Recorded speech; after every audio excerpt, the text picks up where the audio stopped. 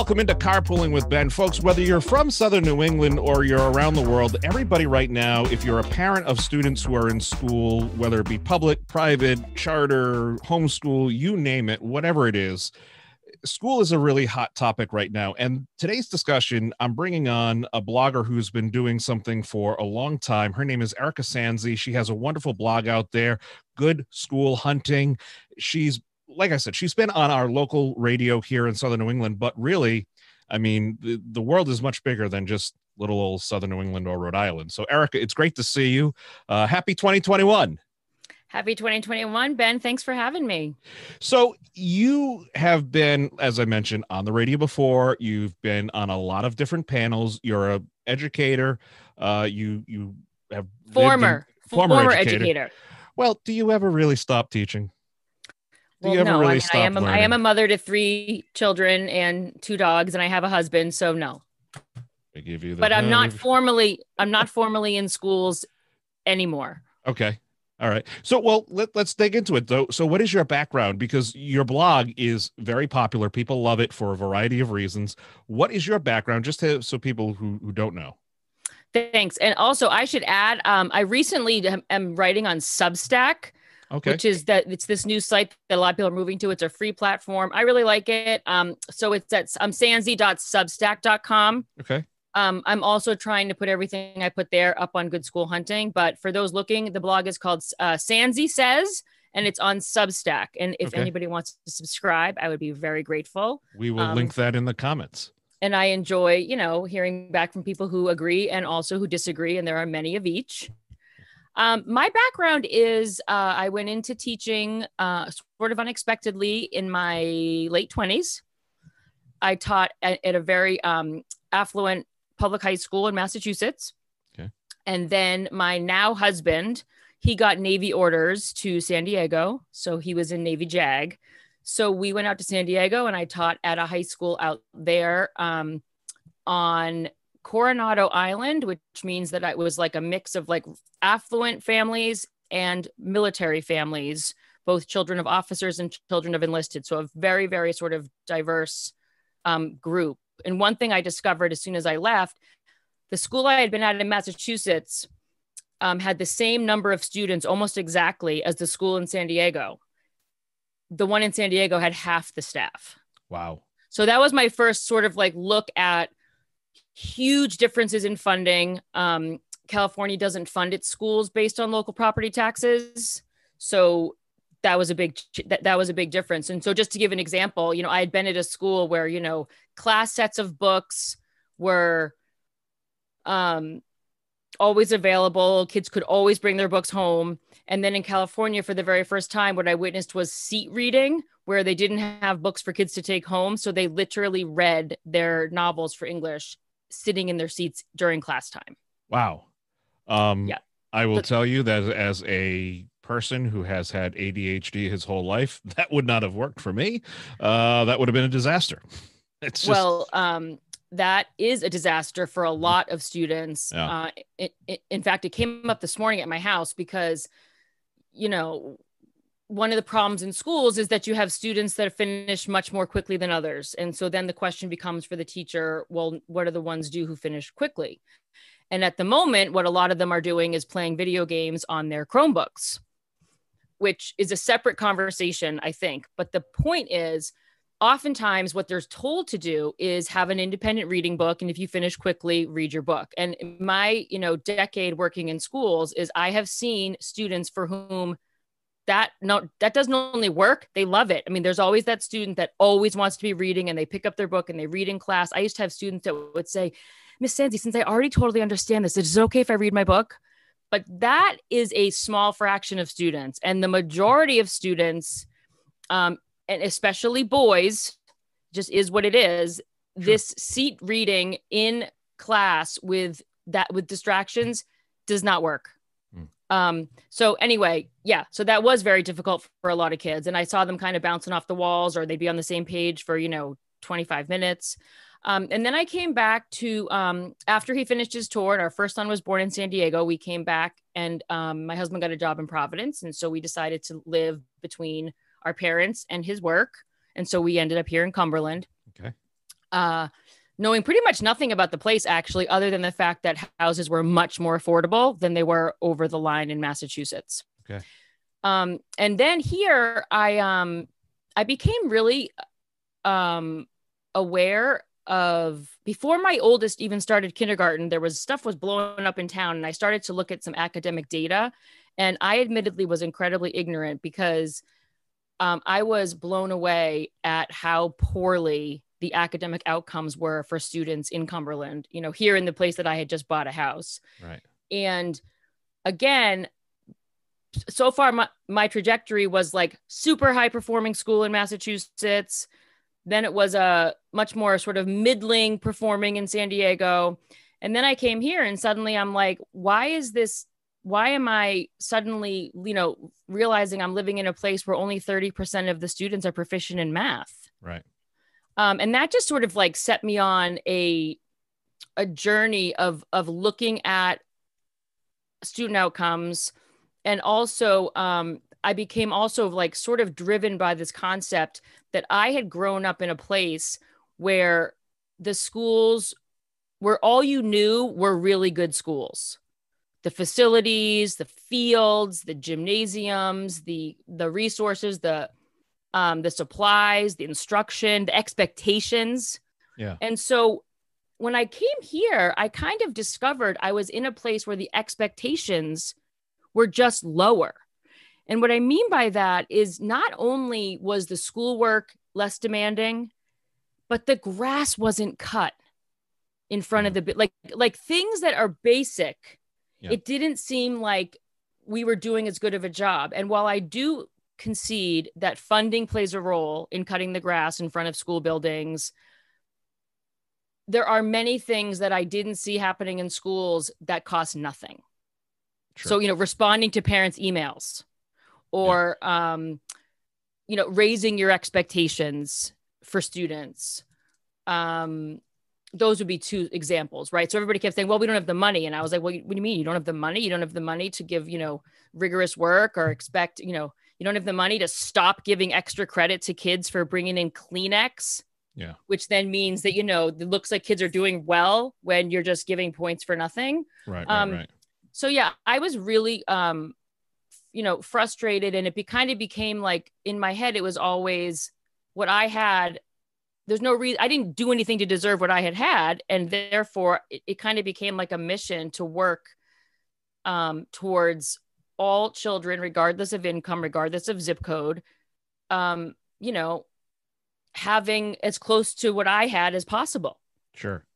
Well um, I, I think that what you've just said, everything that you've just laid out is you you you I would imagine that as a parent, you you kind of take that self blame and saying, you know, you said I was ignorant towards knowing the fact. Well, let's face it, Erika, you had a family, you had little ones, you were busy. There's a lot of things happening, and that's the same case for so many people. And now let's pandemic aside it's just life is busy so it, it's not a, a, fault of yours it's just one of those things like okay how many things am i going to juggle you've now taken this from a step back. And if if what you just laid out is not reason enough to subscribe and follow this i mean I, I seriously don't know what is. It i'm not saying that just to blow smoke at you.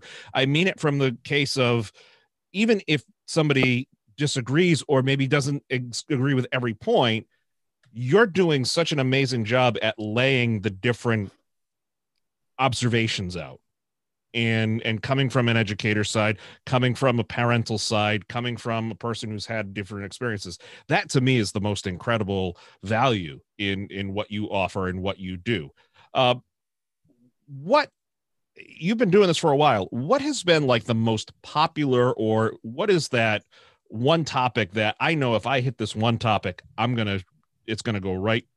The, the analytics are going to go right through the roof. More people are interested in this than anything else. What in, in your mind? What is what do you think that topic is?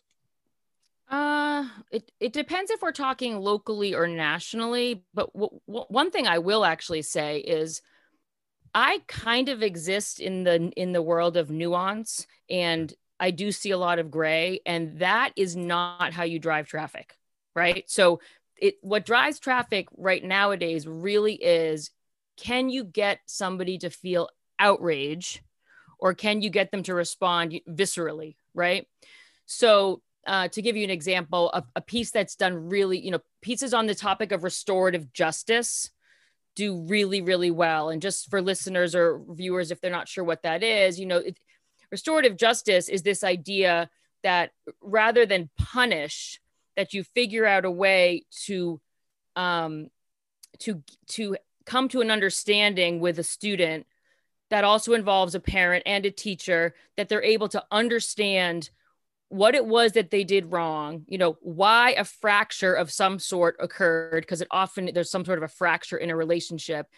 And then they don't only own it but they work towards healing. Yeah. Now in a perfect world that would work. Mm-hmm. The problem is restorative justice is one of these concepts that's become incredibly popular. And it's also become a way to drive down suspension numbers.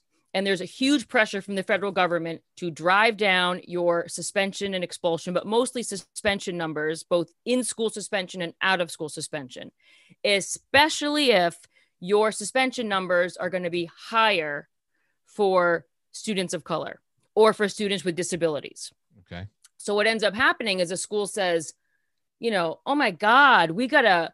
I mean, honestly, as soon as the, as soon as there are um, those kinds of pressures, the natural tendency is to juke the stats. So okay. you know, when the concern was graduation rates were to- too low, all of a sudden graduation graduation rates rose. Could more kids read at graduation? No. Could more kids do math at graduation? No. So this kind of has happened a little bit with the behavioral stuff.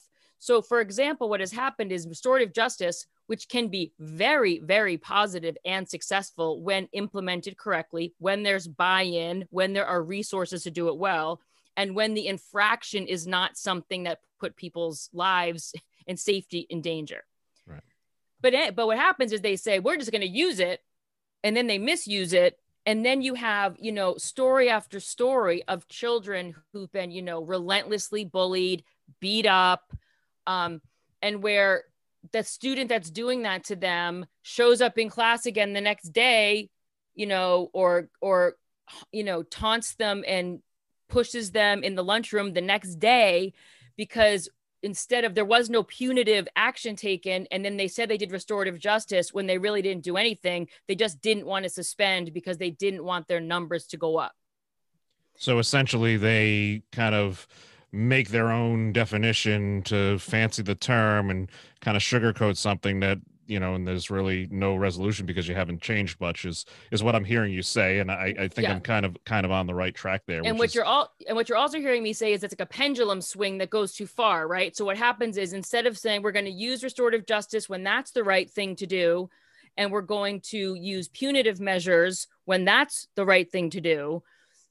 And um, and there's a woman in Rhode Island, I think her name is Melissa Ugarte, and she's like an expert in, in restorative justice and so, like, when I ran a story from a mother who had just had this horrendous experience, mm.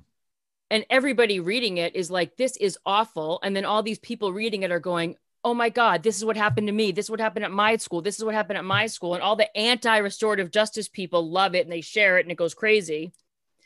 Um, but then I had a, a, woman on, I had Melissa write a response because she works with restorative justice and she was able to identify that that the story that had been told was an example of how to do it incorrectly right? So there's like a misunderstanding of what it is there's a misunderstanding of how to use it. So that would be an example. Um you know some of the stuff that's gone bananas i don't know if, if people who aren't familiar with me you know i've been fighting really this probably the third maybe fourth year you're very soft spoken i don't know if people know that you're not you're, you're kind of shy you're kind of reserved right you, you don't really like to to stir the pot at all correct well, you know, I mean, no, I, I, mean even... that. I mean, you are you are I, I you are so.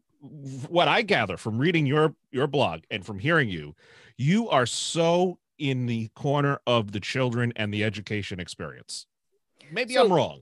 No, you're not you, wrong. You are you want at the end of the day, you want the child, the student to have the best possible education experience possible on on a variety of levels. So I, I say that jokingly that you're quiet, you're reserved. No, no, I get it. It's you're you're you are the the um you're the advocate, the the the ultimate advocate for on that side is the way I see it.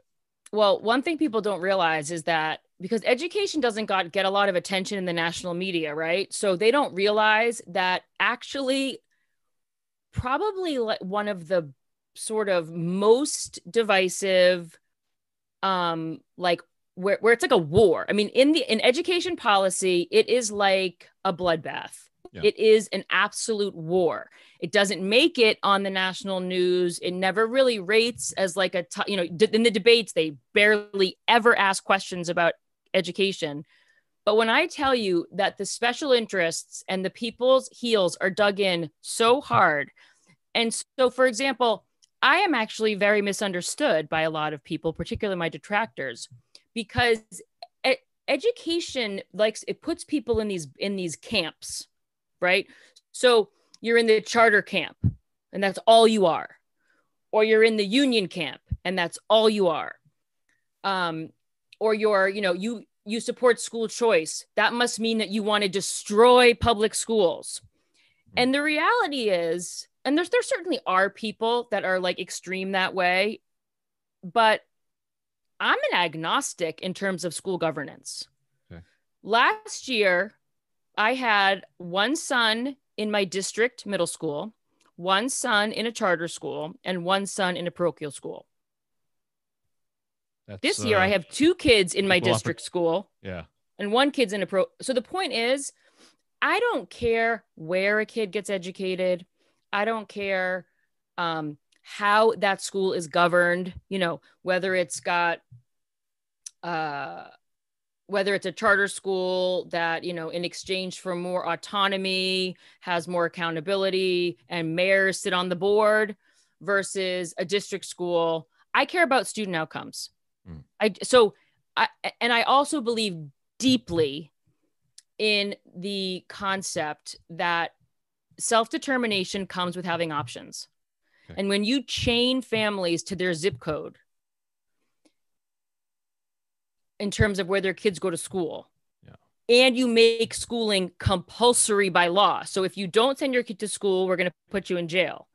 But the only school you can send your kid to for free is this school. That means that what you've essentially set up is is a tiered system. And if you have money, you have access to options. Yeah. Or you're zoned to a school that's good.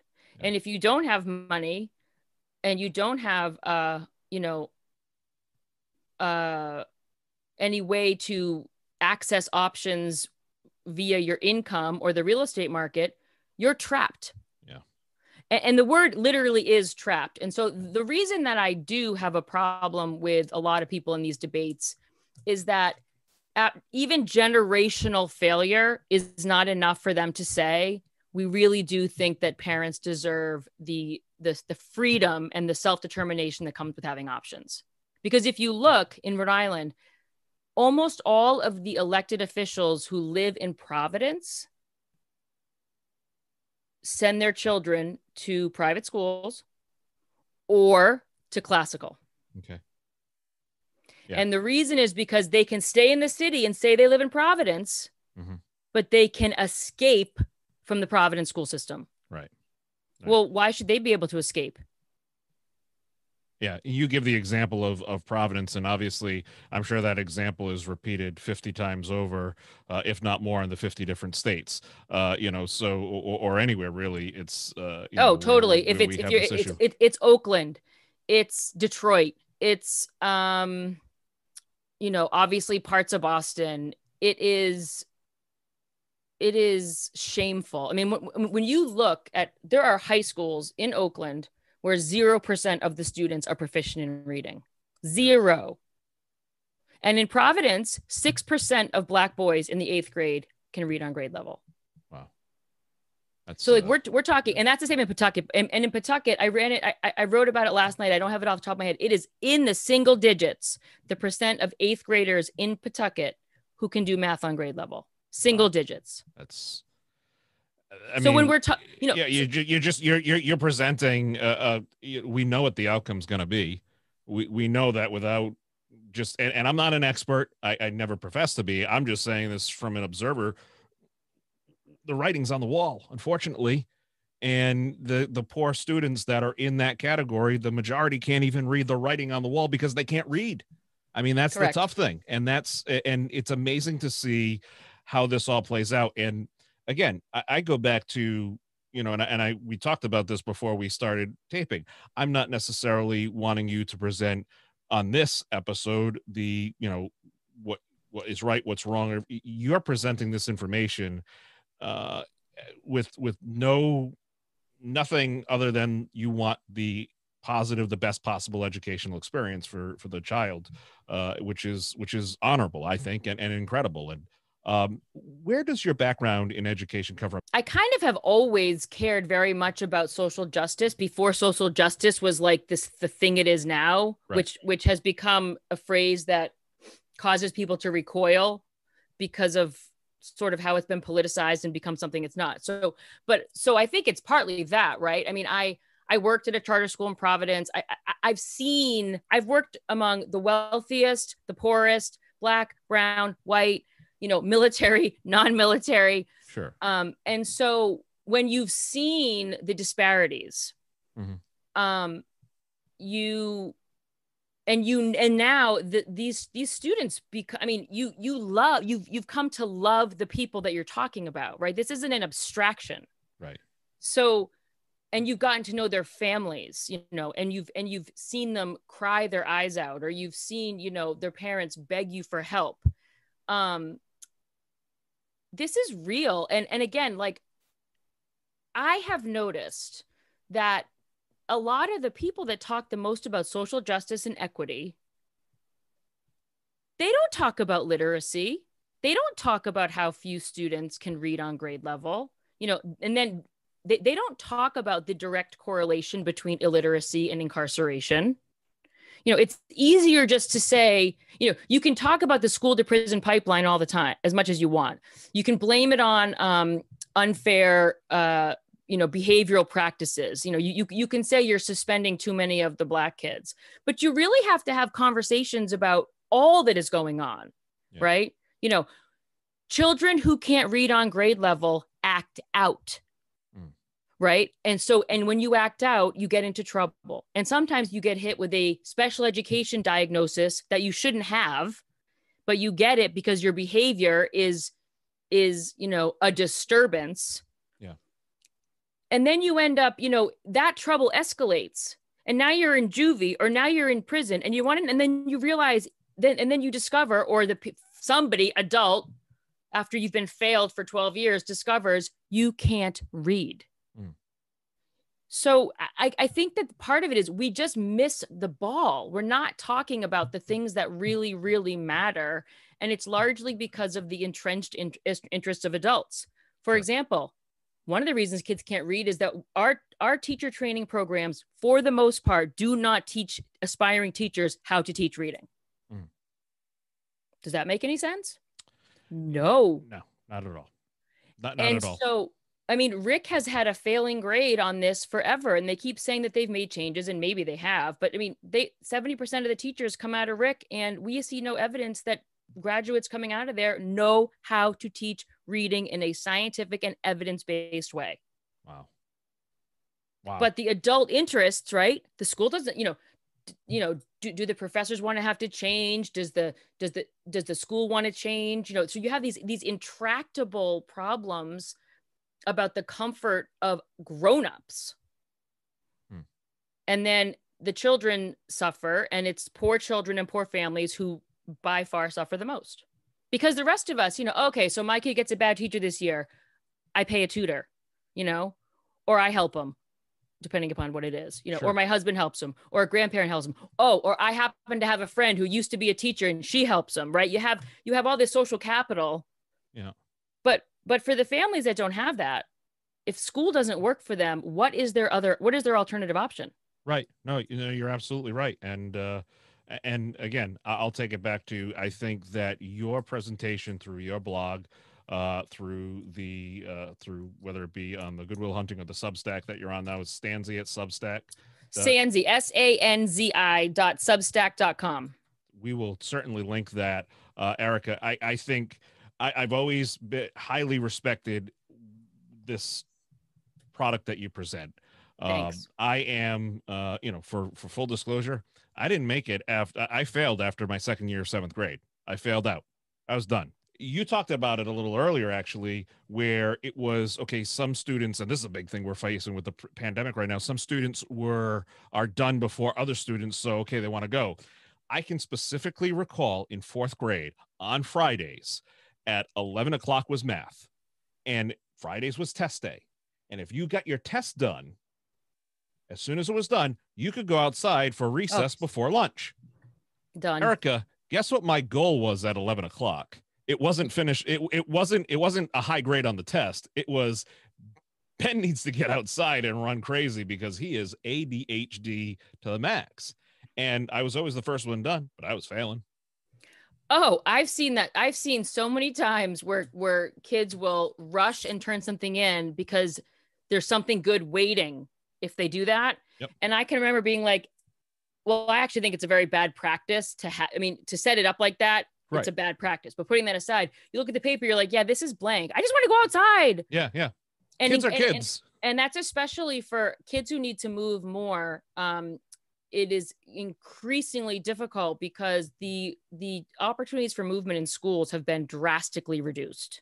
Yeah. So when, when I was in school, I'm 47. I don't know how old you are, but when I'm, we had two recesses, um, and there was a lot more movement allowed throughout the school day, and they didn't expect nearly as much um, reading and verbal skill in kindergarten. So kindergarten was much more sort of hands-on, play-based. Yeah, yeah. Now they're expecting students to be able to sort of sit still, pay attention, and be passive as they engage in a lot of verbal skills yeah. And the truth is, a lot of kids aren't ready. And because boys and girls' brains develop at different rates, um, is particularly when it comes to the verbal side of things. Sure.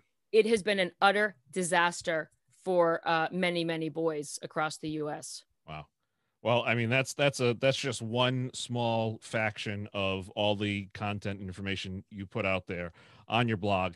Uh, Erika, now let's get to the real reason why I have you on carpooling. Ladies and gentlemen, a few weeks ago, uh, Erika Sanzi tweeted, and I quote, just walked off with someone else's cart at the grocery store. So much for that 2021 resolution. I work from home, so I tend to do a lot of the shopping and the cooking and stuff. It's fine. It, it's no, it, it, that's how we roll in in this house.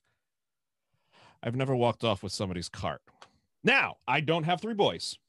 That doesn't matter. I'm there alone. and by the way, this How does that happen? I do this all the time. And it was, but what's weird is you said you had, so I also have an ADHD diagnosis, but I got it in my 40s.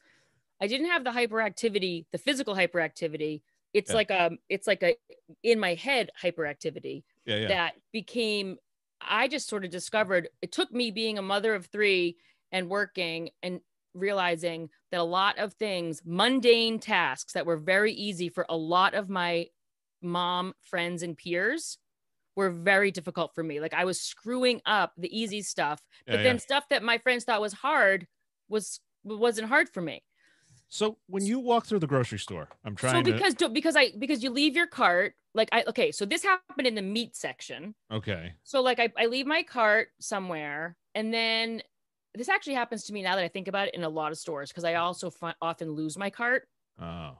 Um, because you you park and then you walk over to you know look at stuff or whatever, gotcha. and then somebody else's cart is now next to you, yeah. and you've forgotten that you left yours over there, and so you put your you put your steaks into the cart that's next to you, and you leave.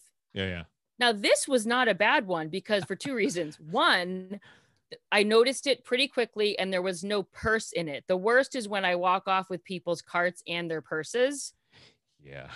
I but the worst of all was at Market Basket last year and I was waiting in line and a man came up to me and he made a joke and he was holding up an, one item and he made a joke and i was like why is this weird guy talking to me what is his problem right. only to realize he says to me look down i look down nothing i have his cart i'm standing in line oh my word at market basket with somebody yeah. else's shopping cart and uh so he goes, Yeah, that's mine. He goes, And I think yours is Wade. he had found mine while he was looking for his. No, it's a distraction thing. Yeah. See, I and I'll give you one more example of a distraction thing. Yeah, yeah. Have you ever gone to the drive-through at Dunkin' Donuts sat at the trash can and wondered why it wasn't taking your order? Guilty. Thank you. Okay. Guilty. So see, but it, that's because it looks like it. But here's the thing: I when I go to the grocery store, you, let me ask you this: Are you a push or are you a pull person? Both. Okay. Interesting. I'm a push and a pull person. All right. Um, but I, you know what I'm thinking? I wonder. Maybe I should leash myself to my cart. You know, there's like like tie myself because and now in Target, this happens a lot because I I start looking at clothes and then I go around and all of a sudden I have no idea where my cart is. And when I find it, it's like so far away. My resolution with Target is don't get a cart, don't get a basket. Then it's less. I have to go there for one thing, and and that's that's it. And I am like you know loaf of bread, uh, no, no. stick of butter, put that on the backpack. Back to that old Sesame Street cartoon.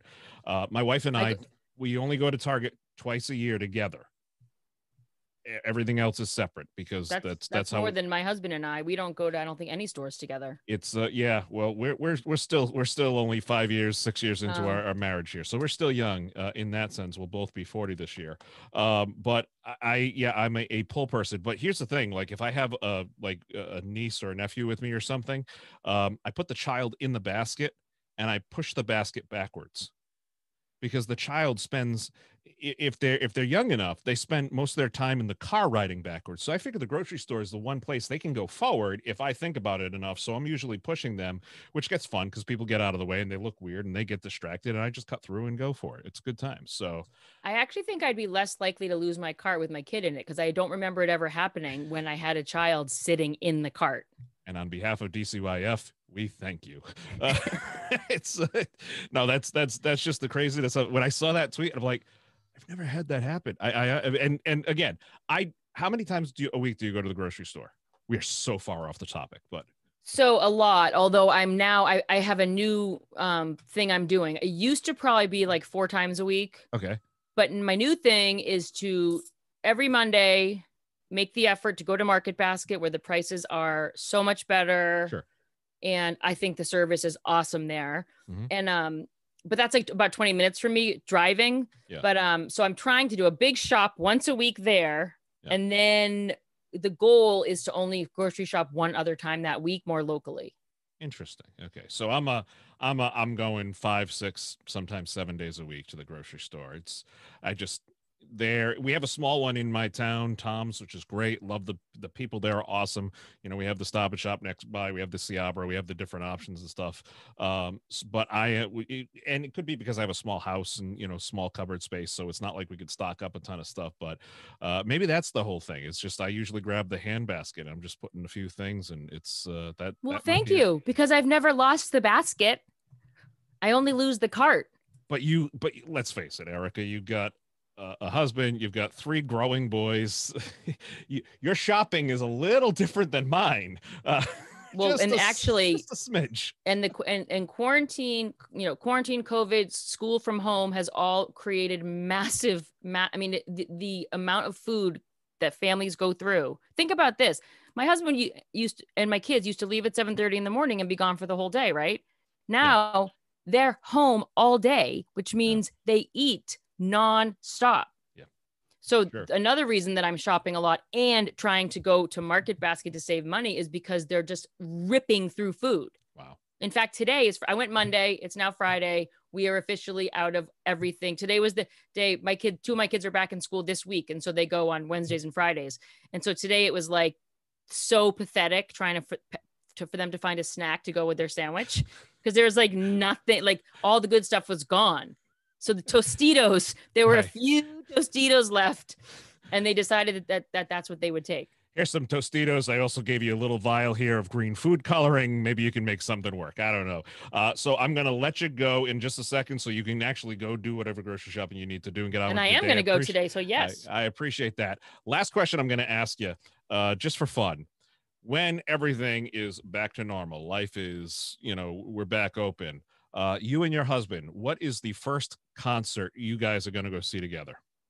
Concert? I don't go to concerts. Go, go, okay, I'll try. I'll go to a concert.